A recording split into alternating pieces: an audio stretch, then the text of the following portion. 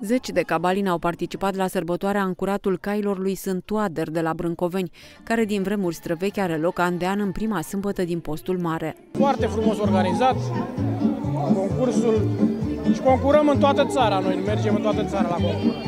La ce participați? La ce probă? La frumusețe. Cum îi Avem oameni plătiți să-i menținem. Hrănim, dăm lucernă, fân, orz, boabe, cei care au venit la sărbătoare sunt impresionați de forța și aspectul cabalinelor. Este foarte frumos, ne place. Sunt la Sibiu și tocmai pentru asta am venit de acasă. Pentru prima dată? Da, pentru prima dată. Așteptăm cu nerăbdare să vedem pe cei care se înscriu la atracțiune, să vedem care va fi cel mai bun cal la atracțiune din eh, comuna Brâncoveni-Salmărieni.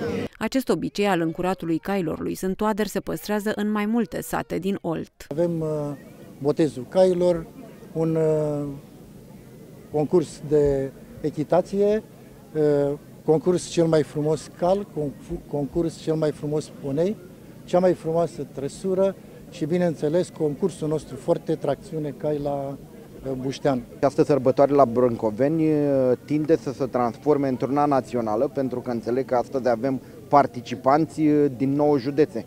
Atunci deja ea înseamnă că a căpătat un anumit, o anumită dimensiune și un nume. Legenda spune că în prima săptămână din postul mare, caii lui sunt toader, după căderea nopții, nevăzuți fiind, prind trup și formă pentru a pedepsi fetele și femeile care au tors, au țesut sau au cusut în primele zile de post. Sărbătoarea de Sântoader este cea care anunță primăvara agrară.